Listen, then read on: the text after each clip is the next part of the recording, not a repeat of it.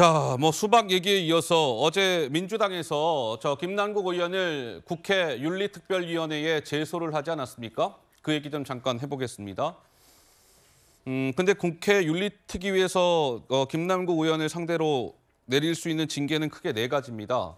제일 낮은 단계는 경고, 그 위는 사과, 그리고 그 위는 30일 이내에 국회 출석 정지, 그리고 가장 높은 수준의 징계는 아예 배지 떨어지게 하는 거죠. 제명.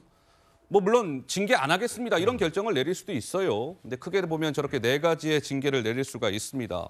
그런데 한번 보시죠.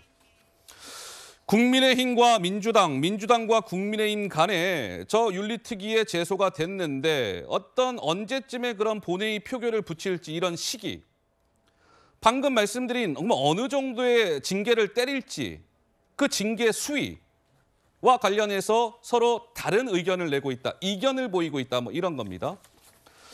그런데 저 징계안이 처리가 되려면요. 이게 시간이 많이 걸리고 좀 복잡하더라고요. 바로 그냥 본회의에 올려져서 땅땅땅 처리하는 게 아니고 숙려 기간 20일이 지나서 윤리심사 자문위 심사를 받아야 된대요. 근데 한 차례 30일을 할 수 있는데 추가로 필요하다고 판단이 되면 30일 연장을 할 수 있답니다. 그럼 최대 60일이 되겠죠? 거기 또 끝이 아니에요. 징계심사 소위를 또 열어야 되고 이게 또 끝이 아니에요. 윤리특위 전체 회의를 열어서 거기에서 의결이 되면 최종적으로 본회의에 상정이 된다. 그러니까 저 날짜만 더해봐도 최소 80일 이상이 지금 소요가 되게 생겼다. 그러니까 박원석 의원님 네. 일각에서는 이게 여론에 밀려서 민주당이 뒤늦게 김남국 의원을 윤리위에 제소했는데 이거 이마저도 시간 벌기용 아니냐 뭐 이러다가 이 징계마저도 뭐 흐지부지 되는 거 아니냐 뭐 이런 얘기가 나오던데 좀 어떻게 보시는지요? 그러니까 지금 국민의힘에서는 숙려 기간 20일 네. 그리고 윤리심사 자문위원회 60일 다 생략하고 본회의에 직상 정하자 이 얘기인데요.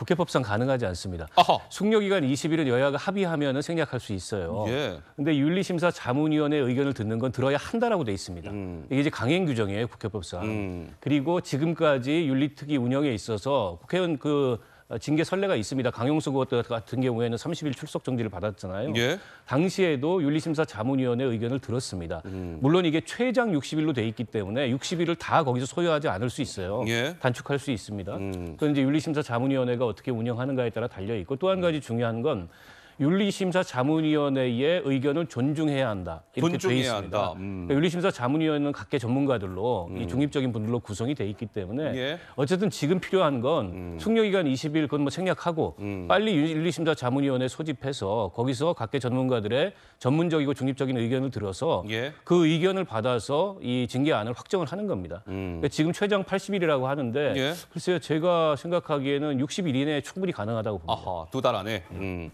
알겠습니다. 어쨌든 윤리위에 제소가 됐으니까 이제 여야 간에 어떻게 저의 이제 좀 합의가 이루어져서 진행이 될지 한번 지켜봐야 될 것 같습니다.